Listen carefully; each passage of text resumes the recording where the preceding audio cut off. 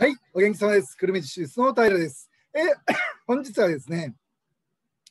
えー、布設高校の生徒を、まあ、あの私が高校の教師を辞めて後ですね、えー、布設高校の生徒を、まあ、東進衛生部校に入れていってたんですけれども、その時にですね、まあ、東大の理2だったかな、と、あと京都大学の農学部だったと思うんですけど、まあ、そのそれぞれに合格した施設高校の生徒がですね、理系の生徒が、まあ、あの英語のことで文句を言ってきたのがですね、これが非常に当時あの印象的で、えー、この業界に転じて2年目の時でしたね。はい、だから初年度先あの前の動画で挙げた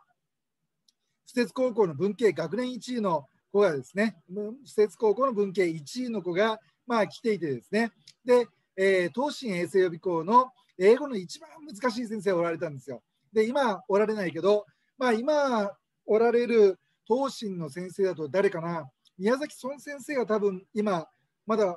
あの健在なんじゃないですかね。はい、宮崎孫先生と、まあ、あの張り合っていた先生が永田達郎先生とおられたんですよね。で、とにかくその、まあ、何でもいいわ、その東進衛生予備校の一番上のレベルの授業ですね。これを受けさせたわけですよ。そうしたら文句が出てですね、こんなの受けてられるかと、ね、俺たちは東大とか京大の理系を受けるんやと、ね、こんなんダメだという感じで言ってきたっていうお話をちょっとしたいと思います。はい。ということでですね、まあ、あの今多分宮崎孫先生が東進なんかでは残っていると思うんですけれども、まあ、あの一番上のレベルのですね授業っていうのは、まあ、はっきり言ってその東大とか京大の理系の生徒ではついていけないんですよ。うん、だから、まあ、例えば今ちょっと背景に映ってますけどもこ,、えー、こちらの女性のインタビュアーじゃないですよ。こちらの男の先生ですね。この先生が学びエイドの、えー、村瀬先生という一番上のレベルを担当している先生ですね。この先生の授業なんかは、まあ、その今、東進の一番上のレベルの担当している先生と同じような授業をやってあるんですよ。だから、まあ、その東大とか京大の理系を受けていくような生徒にとっては、もう全然ついていけないっていう授業なんですよね。はい、だから、この先生の授業は受けるんじゃないぞっていうふうに私が学びエドを、ね、あの取らせた時にですねあの言うんですけれどもそれでもやっぱり受けるなと言われると受けたくなるんですよね。で私のあのパソコンの方にあの受講履歴がどんどん飛んできますからそういうあの9代以上を狙ってるような子たちがですねこの村瀬先生の授業をやっぱつまんで受けてるわけですよ。うん、全然もうすぐあの挫折して、えー、ついていけなくなります。だからですねそこまでいらないんですよ。うん、だからまああのその2人のですね東大リーニと京都大学の農学部と受かった2人のこの生徒がですねまあ、えー、私が東進2年目、担当2年目の時ですね、はい、まだ26ぐらいでしたが、の時に2人でこう言ってきたわけですよ。こんなレベルの授業を受けられるかということですね、東進の一番上のレベルの授業ですね、こんなの受けられないというふうに言ってきたわけですよ。えーと、ね、去年、あのー、ね、その王君はね、えー、布設高校の東大に合格した布設高校の王君はこの授業を受けてたんだよと、ね、なんで受けれないのよというふうに言った。ら、いや、冗談じゃないですよと、ね、王先輩は、それは文系だからあの授業を受けれたんですよと、で僕たち理系ですよと、ね、理数系の科目の勉強をしなくちゃいけないのに、こんなにたくさん、こんな、こんなハイレベルな英語の授業を受けられませんよっていうようなことでですね、言ってきて、もうしょうがないからこうあの変えたんですけどですね。はい。ということで、その理系の生徒の英語のその東大京大の到達点とその文系の生徒の東大京大とかのその到達点全然違うわけですよね。ですから、まあ、今ですねずっとこうあのメールとかで、えー、私がこう言ってるもんですから学びエイドをこうちょこちょこつまんでる人たちからメールが来るわけですよ。でこの学びエイドっていうのは毎日3コマずつだったらですねあの無料で受けられるっていうのがあるじゃないですか。だから毎日3コマずつこうあのつまんでるんですけどというようなことで、あの相談が来てるんですけれども、この先生の絶対受けちゃだめですよ。いいですか？これはもう本当に文系の、しかも東大京大総計上智とか、文系の東大京大総計上智とか、そういうレベルの生徒ですよと、ICU とかですね、まあ、そういったところのレベルの生徒が受ける授業ですから、この村瀬先生のは受けちゃだめですよと、受けちゃだめですよっていうと、やっぱり受けたくなるのが、まあ、あの人間ですからですね、まあ、受けちゃうんでしょうけれども、この、その、なんていうかですね、受けたらいけないんですよ。で、えー、今年うちからその久留米高校の生徒があの慶応義塾大学に受かってるじゃないですか。で、この慶応義塾大学を受かったこの久留米高校の子が、なんでその慶応に受かるのかっていうと、久留米高校の英語科っていうのがあるんですね。この筑後宿80万人の生徒、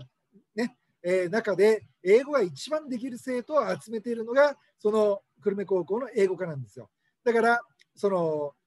施設とか名前高校とかですねあと2番手の伝習館高校とかそういうところの生徒がまあ 慶応に受かりましたよって言ったらまあそんなこともあるでしょうねとトップレベルの、ね、高校だからと。なんでそんな、ね、それらに比べるとずっと下の久留米高校の生徒がなんで慶応に受かるんですかっていうとその一番英語ができる生徒を集めたその久留米高校の英語科っていうのがあるんですね。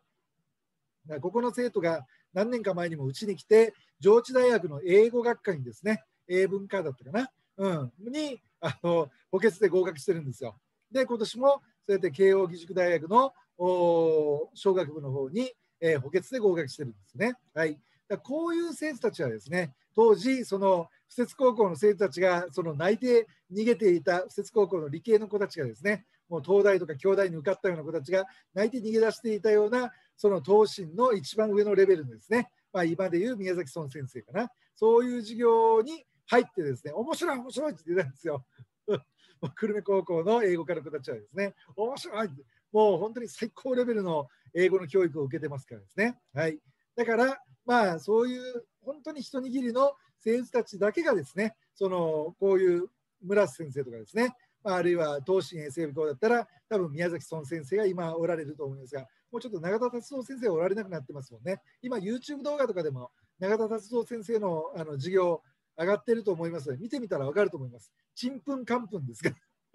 何やってるんだろうかっていうことですね。はい。だからその東進衛生部校とかのですね、その一番上のレベルの英語の授業を受けた子たちがですね、まあ、今だったらその今井先生とかかな、あの大体の難関レベルを受ける子たちは受けてるんですね。はい、そういう授業を受けてる生徒たちにこういうふうな授業だよってな感じでこう解説したとしてもですねさっぱりなんですよ。こういうふうなことを言ってるよってなことを言ってもさっぱりついていけないんですよ。うん、というふうな内容なんですね。はい、だからまああの、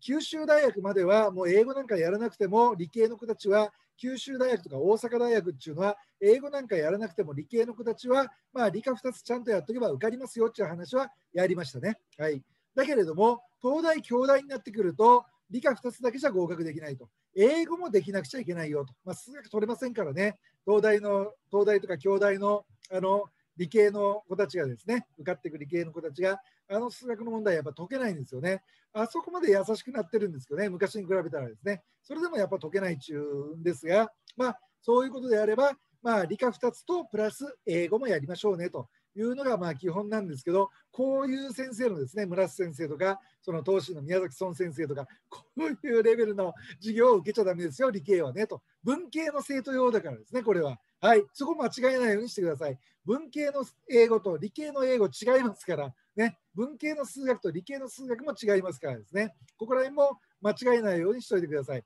理系の生徒に教えているような数学の内容とかですね、文系の生徒に教えているような英語の内容っていうのは、もう全然違いますからですね、別次元で教えてますから、そこを気をつけておいてください。もうそこら辺ですね、もう訳も分からず、意味も分からずですね、東大とか京大の理系狙っている子に宮崎孫先生の授業に放り込んだりとか、まさかしてないですよね、東進衛生部校ですね。はい。だからもう東大の理系とか、京都大学の理系とか、そんなところにの生徒をこの村瀬先生の授業とかに入れちゃだめですよ。もう本当、そんなことやってる場合じゃないですからね、英語なんかやってる場合じゃないですから、理系の子は。ね、あの理数系の科目を頑張らなくちゃいけないんですね。はい、文系の子たちなんかも、やっぱり文系の子たちはあんまり数学とかやってる場合じゃないですから、英語頑張らないといけないんですからね、それこそ村瀬先生ぐらいの授業をですね、マスターできるようにならないと、東大、京大、総計、上智とか ICU だとか、そんな文系の最難関のところとかですね、やっぱ受けられませんよと。もう何言ってるかちんぷんかんぷんやと思いますけどね。まあ、あの言ってることは例えば SDG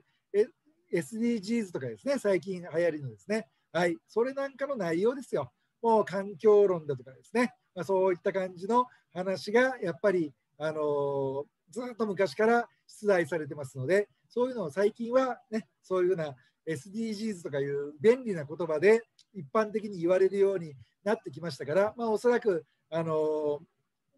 塾とか予備校とかで最高レベルの授業を担当しているような英語の先生であれば、ね、SDGs っていうのがあるよというような感じですね。環境論とかそういうふうなのがここら辺に入ってくるよねというような感じで話をされるんじゃないかなと思います。はい、ということでですね、今日はちょっとその、えー、